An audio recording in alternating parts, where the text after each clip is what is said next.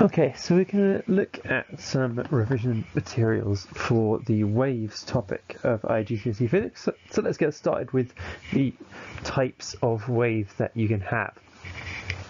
Uh, so we're talking about transverse mechanical waves, so mechanical just means it's making particles oscillate.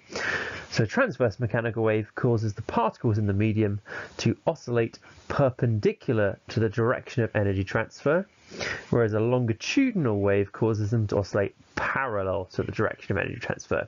And I'll show you what that looks like in a second. So let's first draw a diagram to illustrate a transverse wave. Uh, so this is a very typical transverse type wave. You can see the wavelength is marked as the distance between peaks and the amplitude is the distance from the center line up to a peak. So transverse mechanical, waves travel fastest in, uh, the correct answer here is solids. And the reason is that a mechanical transverse wave requires strong intermolecular bonds to travel.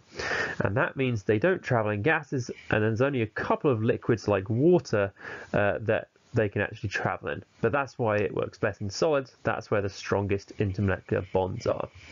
So let's actually have a look at a transverse wave. So you've got the blobs on here to mark the particles of the medium, which you can see oscillate up and down, whereas the energy is being transferred left to right on this illustration here. And so you can see the particles never actually collide with each other, which is why you need the strong intermolecular bonds so that they all move together when you start oscillating the one on the far left. Okay, so let's move on to longitudinal waves. So first we'll start off with a diagram here.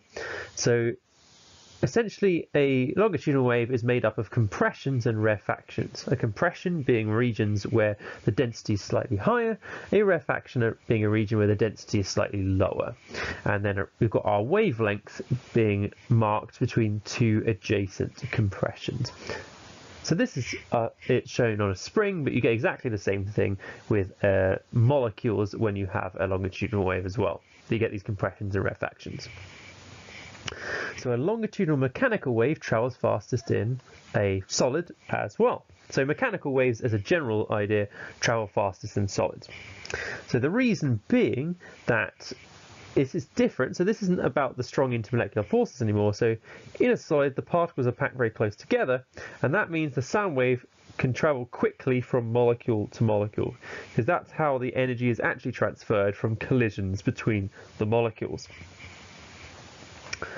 Okay, so with a liquid or a gas, they've got much larger spacing between the molecules, so it's going to end up taking much longer, even though the particles are actually moving faster in, in those states.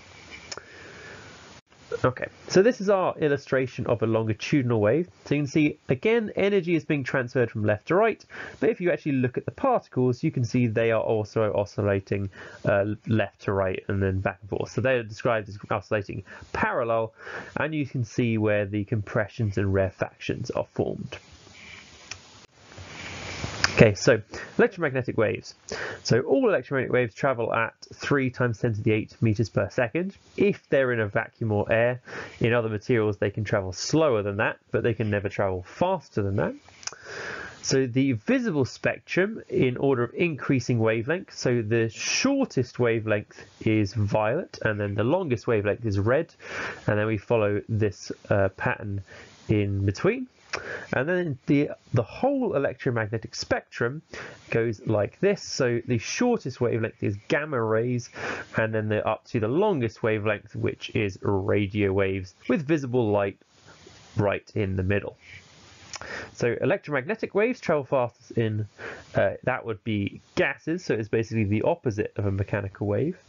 And the reason being, electromagnetic waves are slowed by interaction with atoms. Uh, so they a electromagnetic wave doesn't require particles to travel, which is why it can go across space. In fact, if it encounters atoms, then they are actually slowed down. So if you travel through a gas, they encounter fewer atoms along the way, and so they have the fastest speed. Uh, the fastest would actually be in a vacuum where there are no atoms. And then, therefore, on the opposite logic, in a solid, they encounter the most atoms, so they travel the slowest. So moving on to look at sound waves. So a sound wave is an example of a mechanical because they rely on the movement of particles. So sound doesn't travel across the vacuum of space, for example, which is good, otherwise it would be very loud. And they're also a longitudinal type wave, so they rely on forming the compressions and the rarefactions. So the pitch or how high a sound is is determined by the frequency of the sound wave and then the loudness is determined by the amplitude of the sound wave.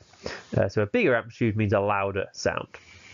So most humans, our ears can pick up anything in the range 20 to 20,000, although that top number does come down as you get older.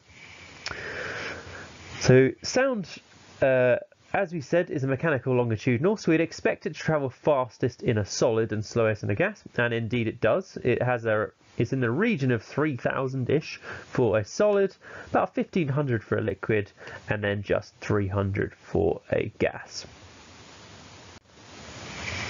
Okay, so we're going to finish off by looking at dispersion. So this is what actually demonstrated that white light is made up of all of the colours of the spectrum. So let's first draw a diagram to illustrate the process of dispersion and then we'll look at explaining how it works using Snell's law. So if we shine white light into a prism, the first thing to note is that the dispersion starts at the first boundary, so you can see they're already splitting up into the colours, and then at the second boundary they're just refracted at that one there. So the dispersion happens at the first boundary. Okay, so the question is, why does this happen? And the key is the fact that the different colours travel at slightly different speeds. So let's look at that. So that's, as I said, the first thing. So red light travels faster than violet if the medium is not vacuum or air. Okay, so this only occurs when you actually have the interactions with atoms and those kind of things. So red light travels faster in glass, which is what the prism is made of. So that means the refractive index for red light is slightly smaller, because remember, um, refractive index is the speed of light in a vacuum divided by the speed of light in the material. So if the speed of light in the material is bigger, that makes the refractive index smaller, or they're inversely proportional. Okay, so that's the first thing. The next thing is actually thinking about the law we're going to use, Snell's law. So N1 sine I is N2 sine R. So let's actually think about the first boundary. So at the first boundary, the medium is air. So all the waves travel at the same speed, which means N1 is the same for red, violet, green, whatever you like. And they all have the same angle of incidence because they're all traveling in one beam of white light. So they all hit the boundary at the same angle. So that means n1 sine r is the same for all of the different wavelengths at the first boundary. So if red has a smaller refractive index, that's going to give it a larger angle of refraction. So if n2 gets smaller, sine r has to get bigger. Okay, so that gives us our larger angle of refraction. So let's actually see that. So you can see I've drawn a normal in here, and you can see red light does indeed have a larger angle of refraction than the violet light, which has the smallest angle of refraction. And that's why we get this dispersion of light.